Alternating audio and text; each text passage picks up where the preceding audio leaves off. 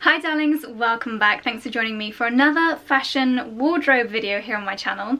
So I've been watching lots of decluttering style videos lately, whether that's here on YouTube or Marie Kondo and yes I am absolutely obsessed and it got me thinking about the things that we do not need in our wardrobe. So today's video is going to be 10 things you don't need in your wardrobe. Hopefully this video might inspire you to have a clear out of your own to avoid having quite so much clutter and therefore outfit confusion in your wardrobe. Before I get started just to say if you are new here then hello and welcome. I do three style focused videos every single week so if you'd like to see more from me at the end of this video, then just hit the subscribe button and click the little notification bell so you don't miss any of my upcoming videos. I will leave a playlist linked down below as well with videos along these kind of lines, like 10 basic styling tips every girl should know, 2019 trends to have in your wardrobe. I do loads of videos like that. And if you do enjoy this video at the end, I would love it if you give it a little thumbs up. So with all of that being said, let's get started. Okay, so the first thing that you do not need in your wardrobe, and this is certainly something that I am very guilty of hoarding onto, and it is excess loungewear.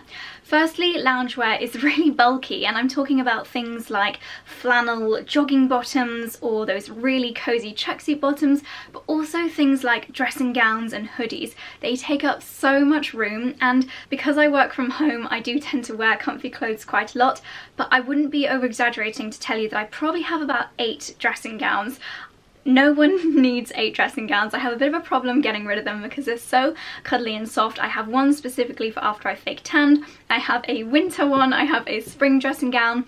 It is totally over the top. So the first product category that I really attacked during my clear out was my excess loungewear. With the pieces that you no longer decide you need in the wardrobe, especially with loungewear, there's quite a few ways you can actually repurpose these things instead of putting them in the bin or sending them straight to landfill. Of course, you can take them to a charity shop or if they're in really good condition, you can try selling them online. But if, like me, you find yourself getting rid of dressing gowns, you can use them as things like blankets for the dogs. You can even donate them to a nearby dog rescue centre or a veterinary clinic or do as I did and cut them up to make dog blankets or put them in the back of the car for those muddy paws after a dog walk. I know I've been saying this in a lot of my recent videos but I'm just going to apologise very quickly about the lighting. I do use natural light film and here in the UK it's very windy which means that it's cloud and sun, cloud and sun and my camera can't keep up so apologies about the crazy lighting. I hope it's not bothering you too much. Moving on to the second thing that you do not need in your wardrobe and it is old underwear. Another thing that we're all guilty of hoarding. Your underwear really should be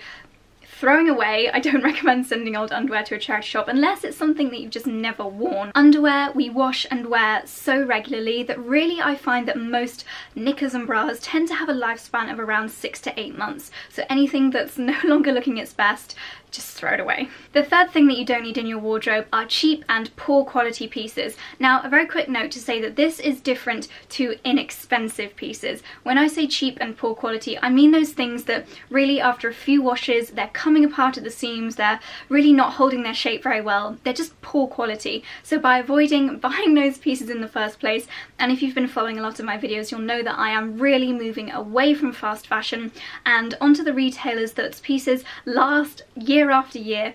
If you watch my video on styling spring outfits, I'm showing you how by investing in premium priced items a few years ago, those things are working really well for my spring wardrobe this year and they'll work just as well in many years to come. When you take a look at your wardrobe, if you see a lot of these cheaper items that just really don't look their best, try recycling them. I know a lot of retailers offer this such as H&M, they have recycling bins. A lot of supermarkets have clothing recycling as well, where the actual fibres can be broken down and reused reused, whether that's in things like bedding or towels or dishcloths or even recycled into new clothing. Just because your clothes are falling apart doesn't mean that they can be reused in some way. I'm very conscious that it's much easier said than done, but also next time you're shopping, try to avoid picking up those cheap and low quality pieces. You can still buy inexpensive pieces from retailers like Topshop, River Island. I find that they are inexpensive, but they're still good quality pieces that will last year after year, whereas some retailers, the quality of the items just means you'll only get a few uses out of them and those pieces are ones which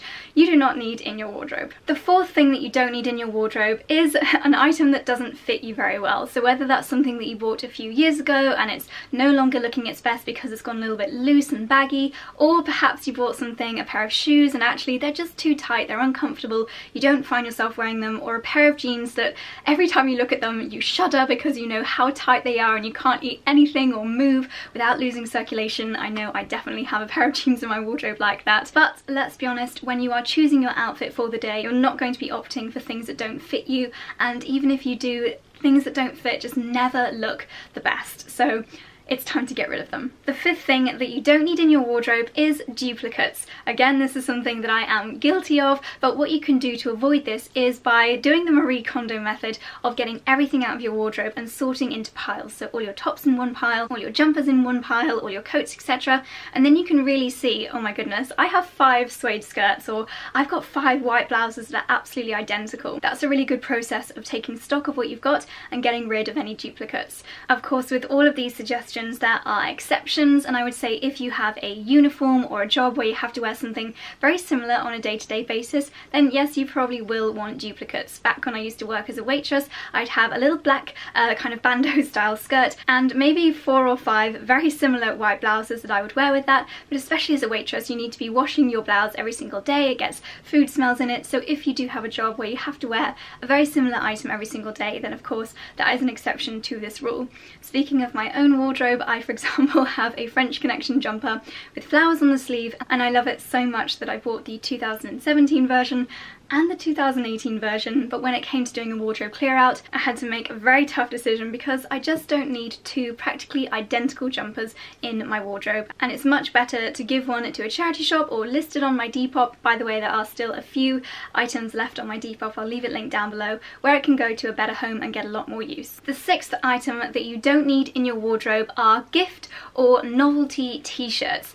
Don't know why this is such a thing, but when you go to like a marathon or a charity event or you stay in a hotel over Christmas and New Year, you always seem to be given a gift t-shirt. And I don't know about you, but I have drawers or had drawers full of them. A lot of the time it's when I've gone to, for example, a launch event and it's a workout perhaps and they've given you a t-shirt with the branding all over it. Yes, it's really nice to wear it that one time, but now I'm trying to say no to things like that, trying not to take them home in the first place because you just end up with drawers and drawers full of gift or novelty t-shirts that when do you wear them? Maybe if you're painting the house or doing some gardening, but I have older jumpers that I save especially for that kind of thing and there's just no point in stocking up on these gift or novelty items if you're not going to wear them. Number seven is along similar lines and it is sentimental pieces.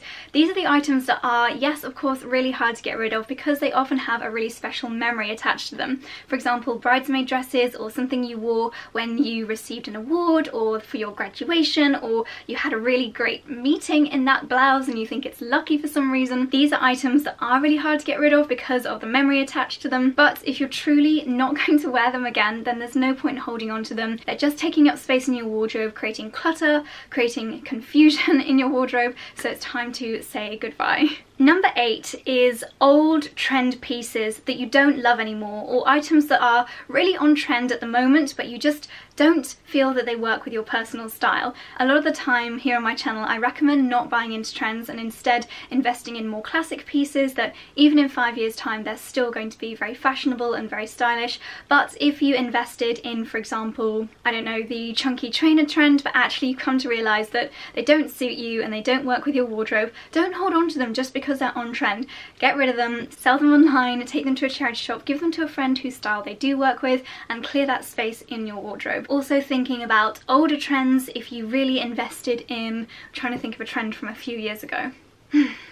I'm really struggling to think of one because I really don't invest in just flash in the pan trends but say there's a trend from a couple of years ago that you absolutely love that item at the time but you can't foresee that trend coming back into style in the next five or even 10 years then it's just taking up room in your wardrobe so it's probably time to move that piece on. Number nine, we're getting it towards the end now. Something else that you don't need in your wardrobe, of course, is anything with stains or anything with rips, anything that is not in good condition. Of course, I do have some tips for getting rid of stains. I'm such a huge fan of Vanish soap, and of course you can try sending your items to the dry cleaner, but sometimes things like foundation or set-in makeup stains or beetroot juice, things like that, if you've tried a couple of times but the stain still hasn't come out, it just looks a little bit scruffy and unkempt to wear that out in public. So yes, you could keep it for your gardening or your cleaning wardrobe, but I wouldn't recommend it. Instead, that's the kind of piece that you should take to one of these clothing recycling bins so they can make more use out of the material. Anything that's ripped, yes, again, have a go at it with a needle and thread, but if it's really beyond repair, then it's time to get rid. And number 10, the final thing that you don't need in your wardrobe is old jewellery. Now, when I say old, this could be old in terms of style. I don't really think anyone wears hugely chunky jewellery anymore. I definitely invested in so many of these big, chunky, embellished necklaces from Zara. Do you remember when necklaces were literally so sewn onto like strips of felt as well. What were we thinking? That's not going to be looking stylish again anytime soon. So those are the kind of pieces you can send to the charity shop or tragically just have to bin them if they're not in very good condition. But also any jewellery that's discoloured, if it's gone rusty, if it is more costume jewellery, it's a little bit cheaper, then often these things are unsalvageable. But if you have invested a little bit more in your jewellery, then you can take it to a jeweller's or for example Monica Vinader in their Duke of York Square store, you can actually go and get your jewellery polished, make it look great again. I will leave um, a link down below as well to this certain product on Amazon which is really good at doing it yourself at home, getting your jewellery looking new again. But if your jewellery is beyond repair, then it's time to bid it farewell. So hopefully having gone through your wardrobe and getting rid of these 10 things you don't need in your wardrobe, you'll find it a lot easier to sort through your wardrobe. You'll have so much more space. It'll be easier to find the things you truly love and want to get more wear out of because having less clutter in your wardrobe creates a much more easy and fun experience when it comes to putting together your outfit of the day. Of course, bear in mind that you can repurpose a lot of these items, be creative and try to find ways of repurposing because of course we do want to minimize the amount of clothing that goes to landfill so recycle and repurpose where you can. I really hope you found this useful and on that last note, if you've got any ideas for repurposing, please let me know in the comments below. Let's share our ideas, I think that'd be really fun and useful and any tips you've got on getting rid of stains, practical things like that, please let me know. I always think that you guys have the best ideas and it's so nice to share them. If you enjoyed this video then please don't forget to give it a little thumbs up. It takes you two moments but it really, really helps me out and helps me to know what kind of videos you guys love.